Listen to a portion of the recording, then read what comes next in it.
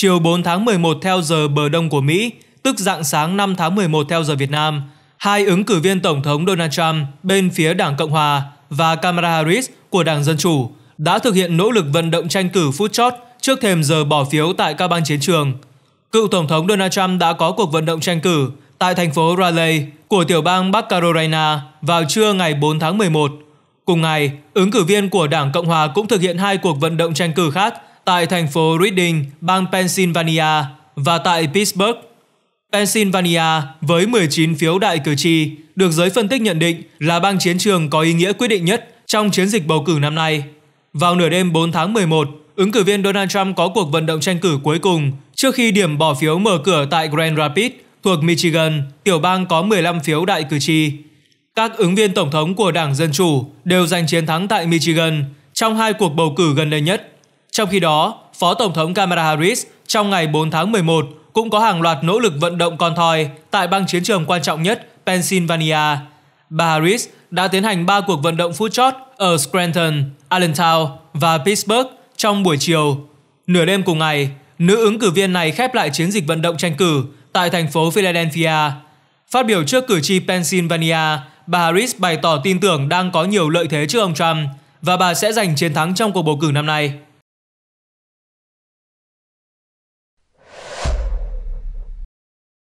Trước thềm cuộc bầu cử Tổng thống Mỹ diễn ra, các bang trên toàn quốc đã triển khai các biện pháp an ninh chưa từng có tiền lệ nhằm đối phó với nguy cơ bất ổn dân sự, can thiệp bầu cử và bạo lực nhằm vào nhân viên bầu cử.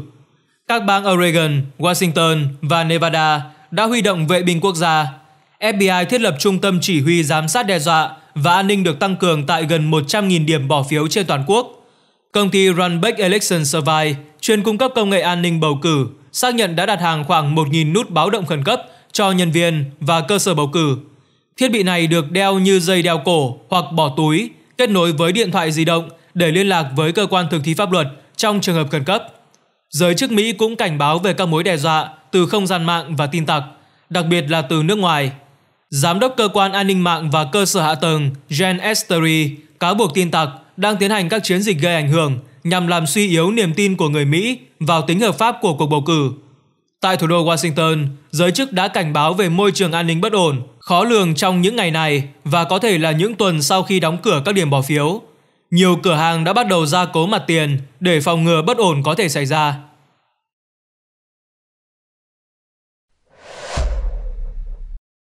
Cuộc thăm dò lớn từ công ty Focal Data của Anh dự đoán chiến thắng cho Phó Tổng thống Kamala Harris trong cuộc bầu cử Mỹ 2024 với việc dẫn trước tại nhiều bang quan trọng. Theo tờ Politico, ngày 4 tháng 11, một nghiên cứu thăm dò mới từ công ty Focal Data của Anh đang thu hút sự chú ý khi dự đoán khả năng chiến thắng của Phó Tổng thống Kamala Harris trong cuộc bầu cử Tổng thống Mỹ năm nay. Cuộc khảo sát này sử dụng phương pháp MRP, hồi quy đa biến và mẫu phân tầng, một kỹ thuật được cho là chính xác hơn các phương pháp thăm dò truyền thống. Focal Data đã thực hiện cuộc khảo sát với hơn 31.000 cử tri trên khắp nước Mỹ. Kết quả cho thấy bà Harris đang dẫn trước cựu Tổng thống Trump tại nhiều bang quan trọng như Michigan, Nevada, cũng như có lợi thế nhỏ tại Pennsylvania và Wisconsin. Trong khi đó, ông Trump vẫn giữ ưu thế tại Georgia và Bắc Carolina, còn tại Arizona, kết quả đang khá cân bằng. Điều đáng chú ý là bà Harris đang nhận được sự ủng hộ mạnh mẽ từ nhóm cử tri nữ da trắng lớn tuổi, vốn là nhóm có xu hướng ủng hộ Đảng Cộng hòa trong quá khứ. Ngược lại, ông Trump lại thu hút được sự ủng hộ từ nam giới da đen và gốc Tây Ban Nha trẻ tuổi.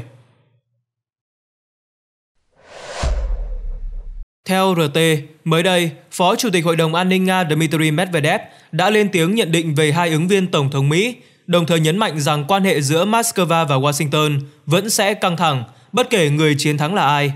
Ông Medvedev cho biết, đối với Nga, cuộc bầu cử ngày 5 tháng 11 ở Mỹ sẽ không thay đổi điều gì. Cả hai ứng viên và lưỡng đảng Mỹ đều tỏ rõ quan điểm muốn đánh bại Nga. Về phần ứng viên Dân chủ Kamala Harris, ông Medvedev không đánh giá quá cao Phó Tổng thống Mỹ. Ông Medvedev nhấn mạnh, bà Harris là người thiếu kinh nghiệm và dễ bị kiểm soát. Nếu đắc cử, bà ấy sẽ chỉ là một tổng thống tượng trưng và quyết định thực sự vẫn sẽ nằm trong tay các lãnh đạo dân chủ và cựu tổng thống Barack Obama. Đối với ứng viên Cộng hòa Donald Trump, theo ông Medvedev, cựu tổng thống Mỹ đã cố gắng tạo ra khẩu hiệu tranh cử thông qua những tuyên bố về triển vọng hòa bình cho Ukraine và mối quan hệ cá nhân tốt đẹp với các nhà lãnh đạo quốc tế. Ông Medvedev cho biết, Ngay cả trong trường hợp nhanh nhất, Đảng Cộng Hòa cũng không thể giải quyết vấn đề Ukraine trong một ngày, ba ngày hay thậm chí là ba tháng. Cập nhật diễn biến nóng về cuộc đua vào Nhà Trắng năm 2024, ngày 4 tháng 11, đài ABC News đã hé lộ về nội dung cuộc trò chuyện giữa ứng viên Tổng thống Cộng hòa Donald Trump với phóng viên Jonathan Kahn. Tại đây, ông Trump đã chia sẻ những nhận định về ngày bầu cử mùng 5 tháng 11. Ông Trump cho biết, tôi đang dẫn trước đáng kể, hy vọng người chiến thắng sẽ được công bố vào đêm bầu cử. Khi được phóng viên Kahn hỏi về khả năng bà Kamala Harris là người chiến thắng, cựu Tổng thống Mỹ cũng thẳng thắn thừa nhận kịch bản này có thể xảy ra. Ông Trump trả lời, tôi nghĩ là tôi có thể thua, mọi thứ đều có thể xảy ra phải không? Tôi tự tin về lợi thế của mình, nhưng những điều tồi tệ vẫn thường xảy ra. Hãy cùng theo dõi các diễn biến, tôi nghĩ rằng chúng sẽ rất thú vị. Trong cuộc nói chuyện, ông Trump cũng lên tiếng về lịch trình vận động tranh cử dày đặc vào cuối tuần, đồng thời cảm ơn sự ủng hộ nhiệt tình của các cử tri. Ông Trump cho hay, tôi không nghĩ là có ứng viên nào từng thực hiện nhiều cuộc vận động trong thời gian ngắn như tôi. Tôi không nghĩ là cổ họng của họ có thể làm được. Cựu Tổng thống Trump sau đó phản nàn về việc phóng viên can từng nói rằng các bài phát biểu vận động của ông lan man và không tập trung vào chính sách quan trọng. Ông Trump chia sẻ, tôi đã xem chương trình Good Morning America. Bạn nói rằng thông điệp của tôi lan man, nhưng nó không đúng. Tôi gọi đó là sự đan xen và đó là điều đã từng giúp tôi trở thành Tổng thống. Trước khi khép lại cuộc trò chuyện, ông Trump tuyên bố rằng sẽ phát biểu trước toàn quốc về kết quả bầu cử vào đúng thời điểm. Theo Wall Street Journal, cựu ứng viên tổng thống độc lập Robert Frank Kennedy Jr. mới đây tuyên bố rằng mình đã được ông Donald Trump hứa trao một ghế tại Nhà Trắng nếu ông Trump thắng cử. Ông Kennedy khẳng định trên sóng Fox News, tôi muốn có ghế ở Nhà Trắng và ông Trump đã đảm bảo rằng tôi sẽ có được điều đó. Tôi tự tin rằng nếu tôi muốn làm Bộ trưởng Y tế và Dịch vụ Nhân sinh, ông Trump sẽ đấu tranh đến cùng cho tôi.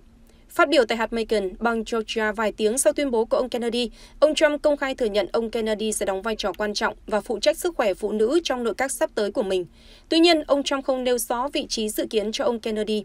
Thay vào đó, ông cho biết chính phủ liên bang dưới thời ông có thể sẽ hạn chế tiêm vaccine và việc bổ sung flo và nước máy, hai thành tựu y tế công cộng quan trọng bậc nhất của thế kỷ 20 của Mỹ. Đáng chú ý, đây đều là những chủ trương mà ông Kennedy đã vận động từ lâu và có thể là phần thưởng của ông Trump cho sự trung thành của cựu thành viên Đảng Dân Chủ.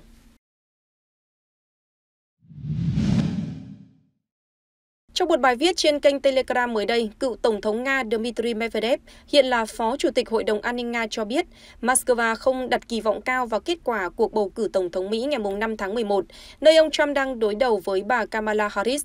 Theo đài RT, ông Medvedev cho rằng với Nga, cuộc bầu cử này sẽ không làm thay đổi điều gì bởi lập trường của cả hai ứng viên đều hoàn toàn phản ánh sự đồng thuận lưỡng đảng tại Mỹ rằng Nga phải bị đánh bại.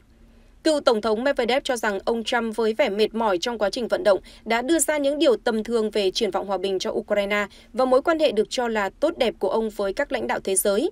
Tuy nhiên nếu tái đắc cử, ông Trump có thể buộc phải tuân thủ mọi nguyên tắc của hệ thống và không thể chấm dứt chiến sự.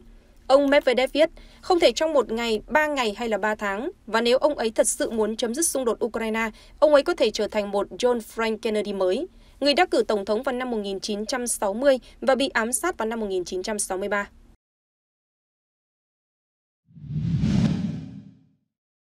Trong một diễn biến đáng chú ý, việc tỷ phú Elon Musk trở thành một trong những nhà tài trợ hàng đầu của ứng viên Tổng thống Mỹ của Đảng Cộng hòa Donald Trump có thể trở thành điều thuận lợi cho Trung Quốc nếu ông Trump giành chiến thắng trong cuộc bầu cử sắp tới để trở lại Nhà Trắng. Tỷ phú điều hành của Tesla và SpaceX đã quyên góp hơn 100 triệu đô la Mỹ để ủng hộ ông Trump và cũng có rất nhiều lợi ích kinh tế ở Trung Quốc.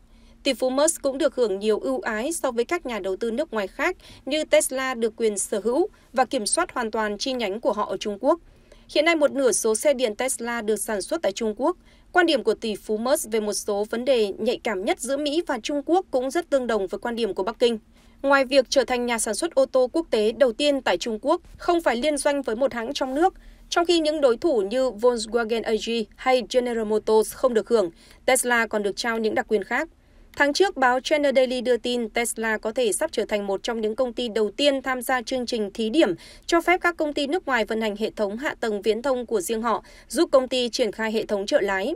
Ông Kevin Su, một nhà đầu tư công nghệ và là người sáng lập Interconnected Capital có trụ sở tại Mỹ nhận xét, quan hệ Tesla-Trung Quốc là mối quan hệ phụ thuộc lẫn nhau, trong đó Tesla cần Trung Quốc vì quy mô sản xuất và sự phức tạp của chuỗi cung ứng, trong khi Trung Quốc hoan nghênh Tesla vì vị thế dẫn đầu về công nghệ của hãng.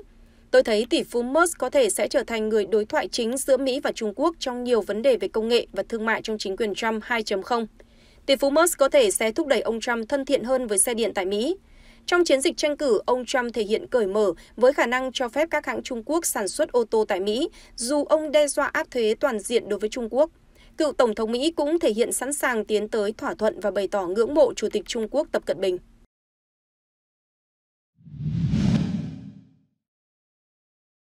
Trong khi ứng cử viên Đảng Dân Chủ Kamala Harris nhắm đến Michigan, thì ứng cử viên Đảng Cộng hòa Donald Trump lại đến ba tiểu bang dao động lớn nhất khi chưa đầy 48 giờ nữa sẽ diễn ra ngày bầu cử Tổng thống Mỹ. Michigan là một trong 7 tiểu bang chiến trường được theo dõi chặt chẽ.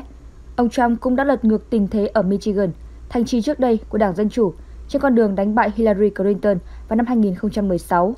Tổng thống Joe Biden từng đưa tiểu bang này trở lại phe Dân Chủ vào năm 2020 nhờ sự hỗ trợ của tổ chức công đoàn và cộng đồng người da màu. Hiện tại, cuộc đua vào Nhà Trắng đang diễn ra vô cùng căng thẳng với nhiều tiểu bang có kết quả thăm dò ngang bằng nhau. Có khoảng 75 triệu cử tri tham gia bỏ phiếu sớm trước. Theo số liệu thăm dò trung bình do Real Clear Politics công bố, tính đến ngày 2 tháng 11, không có ứng cử viên nào có cách biệt lớn hơn 3 điểm ở tiểu bang chiến địa trong 7 tiểu bang quyết định chức Tổng thống. Phó Tổng thống Kamala Harris bỏ phiếu qua thư trước ngày bầu cử. Trước đó một ngày, ông Trump và bà Harris cùng tới Bắc Carolina để lôi kéo sự ủng hộ tại tiểu bang chiến địa phía Đông Nam. Đây là lần thứ tư Phó Tổng thống Kamala Harris và cựu Tổng thống Donald Trump đến cùng một tiểu bang vào cùng một ngày. Điều này nhấn mạnh tầm quan trọng của bảy tiểu bang có khả năng quyết định cuộc đua vào Nhà Trắng và những cuộc thăm dò dư luận gần đây cho thấy cả hai ứng cử viên đang ở thế cân bằng. Khi bước vào trận đua cuối cùng, nhóm chiến dịch tranh cử của Phó Tổng thống Mỹ dự kiến tổ chức sự kiện kết nối trên 7 tiểu bang chiến trường vào ngày 4 tháng 11 để lôi kéo sự ủng hộ của cử tri.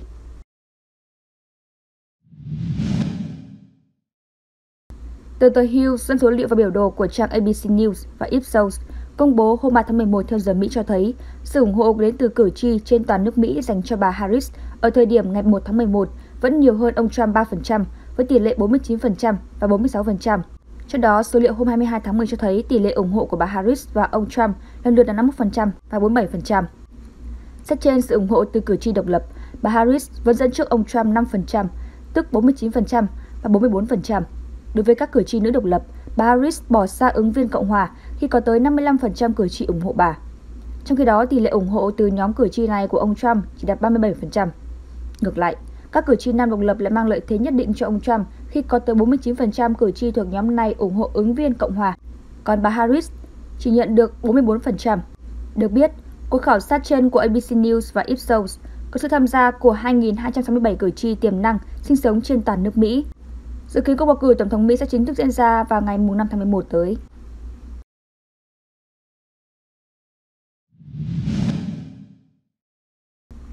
Theo số liệu của File 38 công bố ngày 3 tháng 11 theo giờ địa phương, bà Harris dẫn trước ông Trump với cách biệt chỉ 1% trong các cuộc thăm dò dư luận toàn quốc. Con số này giảm từ mức 1,4% cách đây một tuần, nhưng vẫn phản ánh sự cạnh tranh gắt gao trong cuộc bầu cử năm nay. Các chuyên gia cho rằng kết quả thăm dò dư luận có thể không phản ánh đầy đủ sự ủng hộ của cử tri đối với hai ứng cử viên. Trong các kỳ bầu cử năm 2016 và 2020, ông Trump thường bị đánh giá thấp hơn so với các đối thủ ở Đảng Dân Chủ trong các cuộc thăm dò dư luận nhưng đều có màn thể hiện tốt hơn nhiều khi kết quả bầu cử chính thức được công bố. Mặc dù vậy, một số chuyên gia của CNN và New York Times cho rằng chính bà Harris có thể cũng bị đánh giá thấp hơn so với thực tế trong cuộc bầu cử năm nay, một phần do sự lớn mạnh của nhóm người ủng hộ ông Trump, một phần nữa có thể chính các hãng thăm dò dư luận cũng gặp khó khăn trong việc định vị nhóm cử tri ủng hộ bà Harris. Trong bối cảnh của đôi về Nhà Trắng tiếp tục bất phân thắng bại, các chiến dịch của cựu Tổng thống Trump và Phó Tổng thống Harris cùng đẩy mạnh công tác vận động tranh cử. Trong tuần qua, ông Trump và ứng cử viên liên danh tranh cử JD Vance đã có chuỗi 20 hoạt động vận động tranh cử.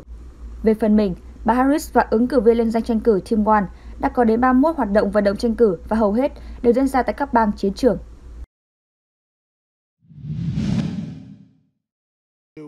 Chúng ta có biên giới an toàn nhất trong lịch sử đất nước vào cái ngày tôi rời khỏi Nhà Trắng. Đáng lẽ, tôi không nên ra đi. Ý tôi là thật sự mà nói, chúng tôi đã làm rất tốt, ông Trump nói trước khi đột nhiên tự ngắt lời.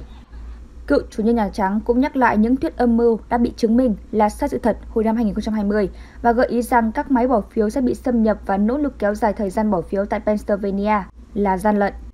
Vì cựu Tổng thống cũng dành thời gian chỉ trích các cuộc khảo sát thăm dò gần đây Đáng chú ý là của báo Des Moines Register tại bang Iowa cho thấy ông thua Phó Tổng thống Kamala Harris 4 điểm phần trăm, dù theo quan sát chung, bà Harris có lẽ sẽ không thắng tại bang này. Theo tờ The Guardian, các trợ lý của ông Trump đang rất tự tin về cơ hội thắng của ông, dù họ thừa nhận là không thật sự chắc chắn kết quả tại các bang then chốt như Pennsylvania sẽ diễn ra như thế nào. Một phần của sự tự tin đó được cho là xuất phát từ các cuộc thăm dò nội bộ cho thấy ông Trump có khả năng thắng 5 trên 7 bang chiến trường. Cũng trong sự kiện, ông Trump đưa ra những lời chỉ trích đối với giới truyền thông và gợi ý rằng ông sẽ không quan tâm nếu có phóng viên bị bắn trúng nếu ông bị ám sát lần nữa.